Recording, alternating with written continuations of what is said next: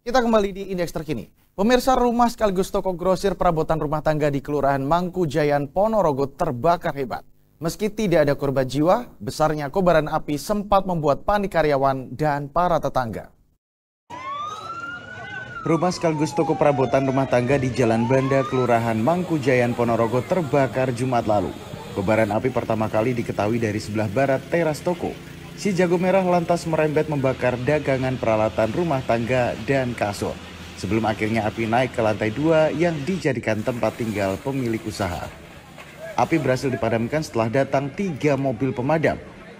Proses pemadaman hingga pembasahan membutuhkan waktu lebih dari dua jam. Selain barang dagangan, harta benda meliputi surat-surat administrasi, peralatan elektronik, dan kendaraan hangus terbakar.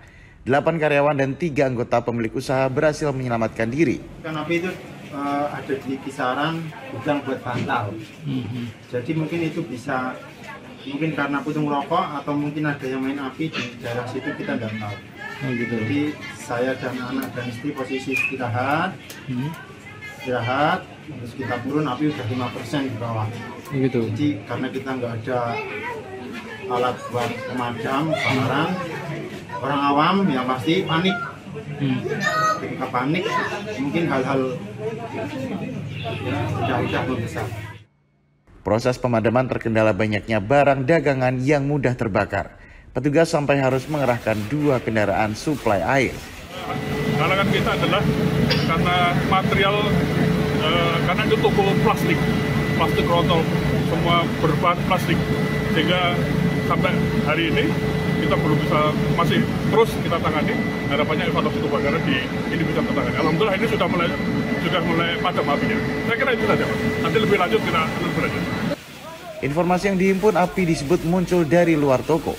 Dugaannya ada seseorang yang membuang puntung rokok sembarangan. Akan tetapi polisi masih menyelidiki dugaan tersebut. Kita kumpulkan berbagai keterangan dari masyarakat yang mengetahui pada saat itu. Jamnya 13.30 WIB kurang lebih seperti itu terjadi ada kebakaran busa dan sarung bantal di tubuh perabotan tersebut. Di pojok sebelah timur memang dari karyawan setelah tahu diteriaki sama warga sekitar melaksanakan dengan alas adanya menyiramnya pun karena kekurangnya alat pemadam kebakaran walahan terus untuk karyawan pada keluar semua dengan memanggil damkar untuk masalah kerugian ini karena memang di lantai atas ini ternyata rumah yang ditempati tinggal oleh pemilik dari tubuh perabotan tersebut masih dalam tahap penghitungan. Polisi melakukan olah tempat kejadian perkara sekaligus memintai keterangan sejumlah saksi mata dan karyawan ruko guna mencari tahu penyebab pasti kebakaran.